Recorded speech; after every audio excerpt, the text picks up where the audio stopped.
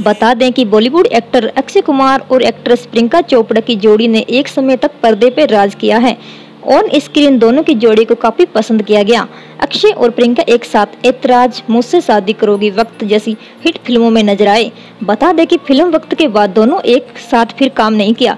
ऐसे में प्रियंका और अक्षय कुमार के फैंस के लिए बेहद ही बड़ी खुशखबरी है। दोनों की जोड़ी एक बार फिर से देखने को मिली है। बता दें कि हाल ही में अक्षय कुमार और प्रियंका चोपड़ा का एक गाना रिलीज़ हुआ है। ये गाना 17 साल बाद रिलीज़ हुआ है। इस गाने की खास बात यह है कि ये साल 2005 में शूट किया था। इसे अब साल 2022 में रिलीज़ किया गया है। इस गाने को प्रियंका और अक्षय कुमार ने फ़िल्म बरसात के लिए शूट किया था। ये गाना फ़िल्म का टाइटल सॉन्ग है। तो आपको ये सॉन्ग कैसा लगा मुझे कमेंट बॉक्स में ज़रूर बताएँ। यदि आप प्रियंका चोपड़ा, अक्षय कुमार के फ़ैन है तो वीडियो को लाइक, शेयर करने के साथ ही हमारे चैनल को सब्सक्राइब ज़रूर करें। Thanks for watching.